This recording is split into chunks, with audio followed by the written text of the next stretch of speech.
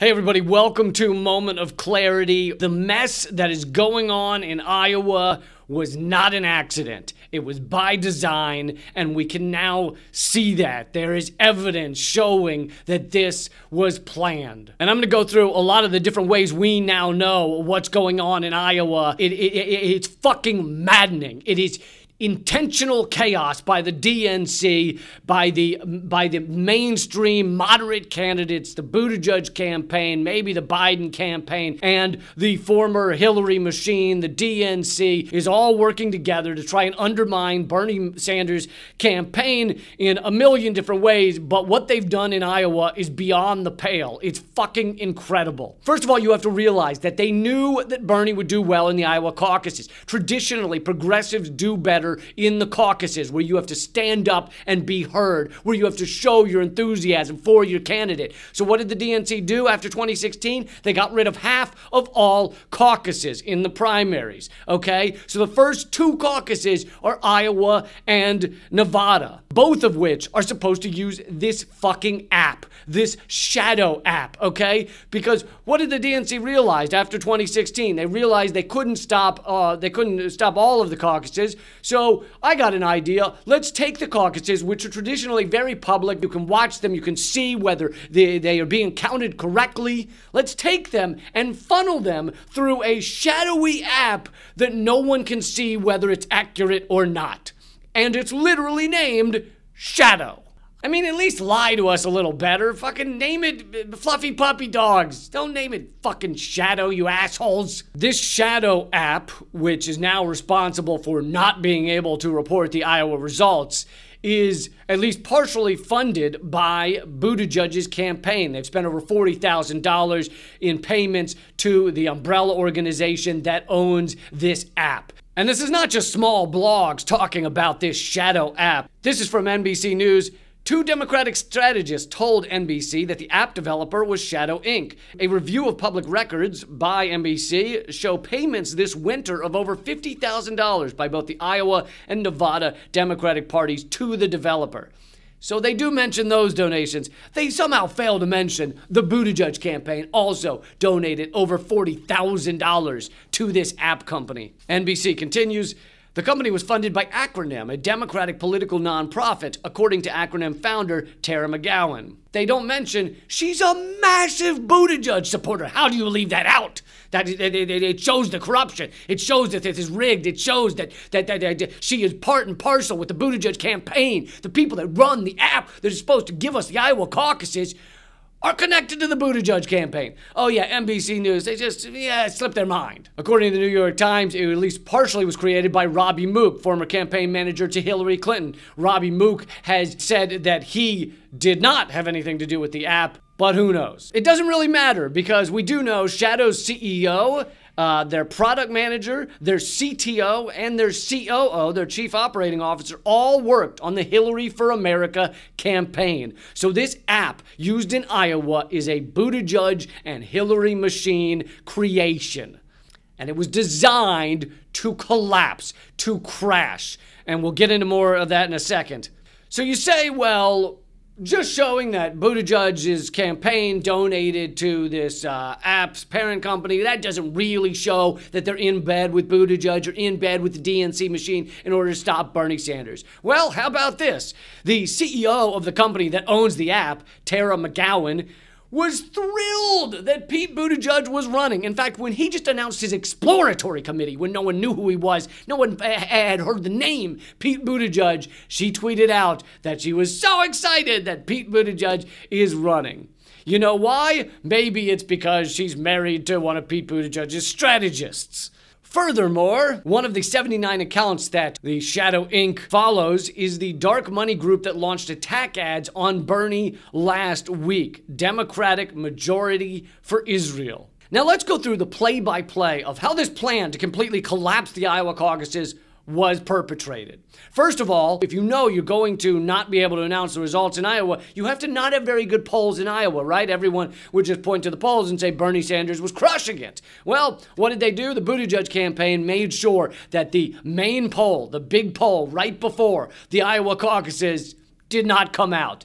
The Buttigieg campaign complained about the way the poll was done, and so the poll was not released. Next, you have to have the media not be able to give any results, which they succeeded in doing that by not really having any exit polls, not really having any numbers for our media to go on. So our media sat around with their thumbs up their ass going, We have no idea what's happening in Iowa. Next step, you declare victory, whether you've proven to have won or not. Pete Buttigieg literally declared himself victorious without any information coming from the Iowa Democratic Party.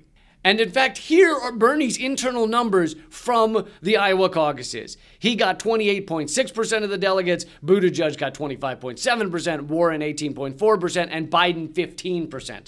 So Buttigieg likely did not win, almost definitely did not win, but he declared victory because he's the Juan Guaido of America. Buttigieg is absolutely Juan Guaido. As you recall, in Venezuela, Juan Guaido, who 80% of the country had never heard of, declared himself president without actually running for president. The U.S. then declared him president, even though, as I might have mentioned, he didn't run for president. But as with Juan Guaido, most of America's like, what the fuck did you just say? Did you just declare victory in a race with no results? Even though you were losing? And luckily, even Willie Geist on MSNBC saw the need to call this out. Tell me about your uh, decision last night to go out and claim victory. You went up on the stage and said, We were victorious here tonight. What did you base that on?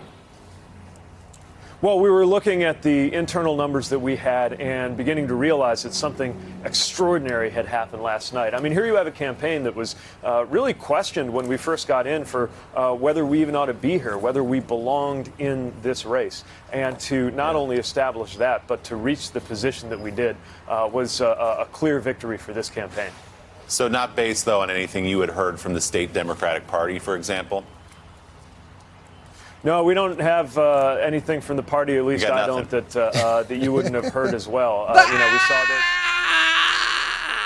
Oh my God! MSNBC just said something truthful. What the hell is going on? Buttigieg looks like a damn fool okay? And furthermore, he's military. We know that, right? He's very proud of the fact that he's military, but he's likely CIA as well. As John Kiriakou, CIA whistleblower, has said that some of Buttigieg's flight schedules in the past, such as the fact that he flew to small African countries that are very difficult to get to for one day, seem to say he's some form of intelligence agent.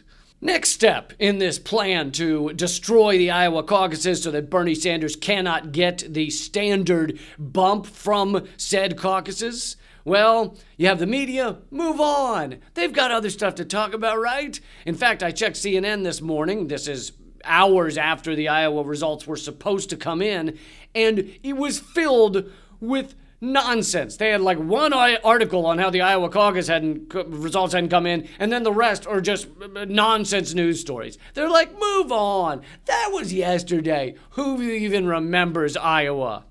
In fact, to quote NBC, Although we're supposed to get results later today, the reporting and technological mess from the state party has resulted in a total wash. It's like Iowa never happened.